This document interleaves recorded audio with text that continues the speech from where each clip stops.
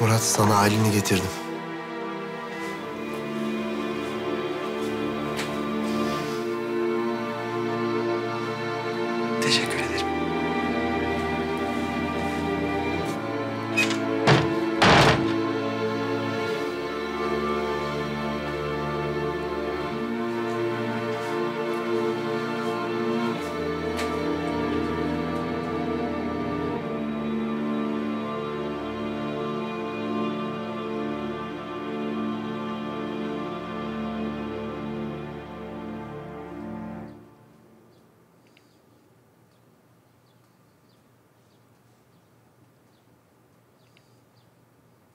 Beni sevmediğini aslında başından beri biliyorum.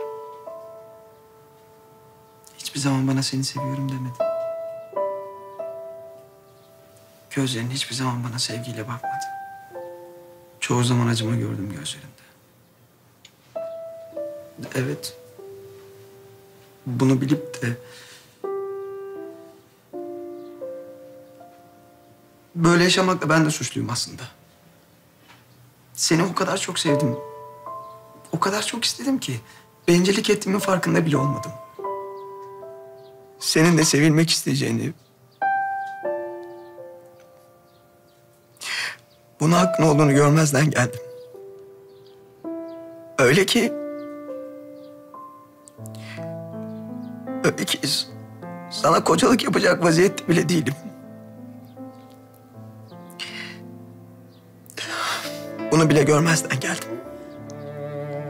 Murat, Hayır Aylin konuşma. Söyleyeceklerimi bitirmedim daha.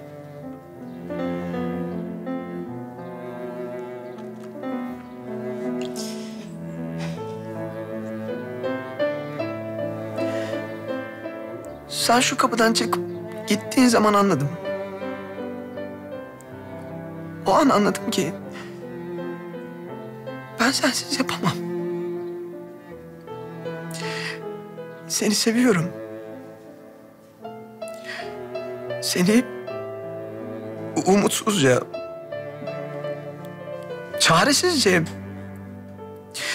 Ya işte ne dersen de seviyorum. Bunlara rağmen şu an burada olduğun için Tanrı'ya şükrediyorum. Yapabileceğim bir şey yok. Hakikaten çaresizim. Seni seviyorum.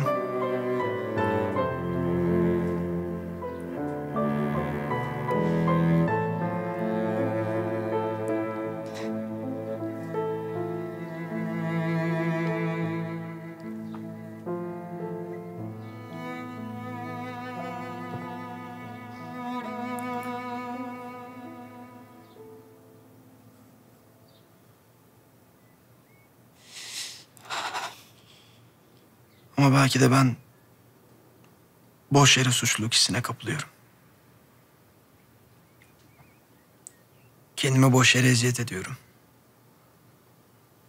Sana karşı haksızlık ettiğimi düşünüp kendimi boş yere üzüyorum. Çünkü sen de benle benim için değil, bir anlaşmanın bedeli olarak evlendin. Bu vaziyette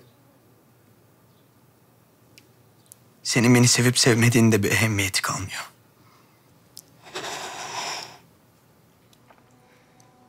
Sana söylemek istediğim şu.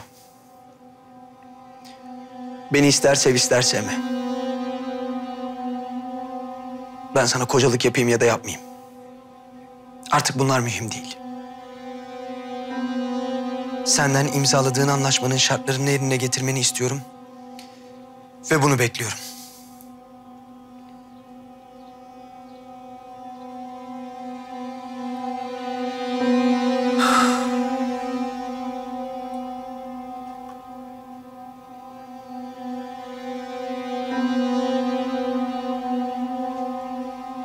Bana söylemek istediğin bir şey var mı?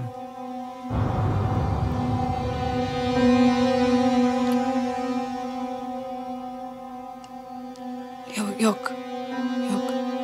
İyi. O zaman çıkabilirsin. Biraz yalnız kalmak istiyorum.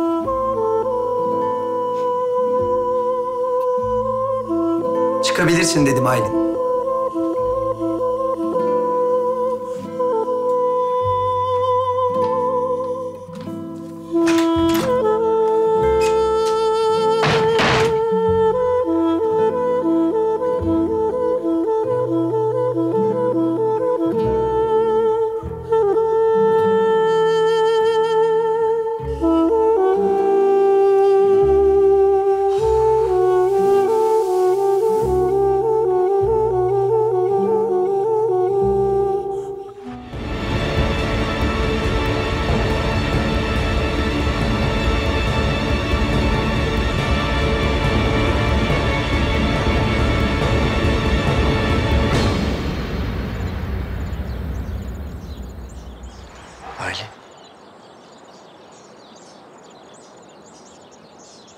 Ne olur ağlama. Ne olur dayanamıyorum.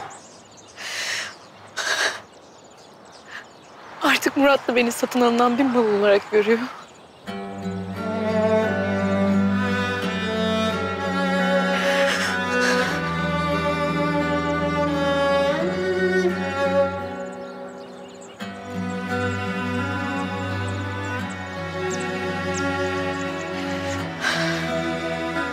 Kanalımıza abone olarak tüm videolardan anında haberdar olabilirsiniz.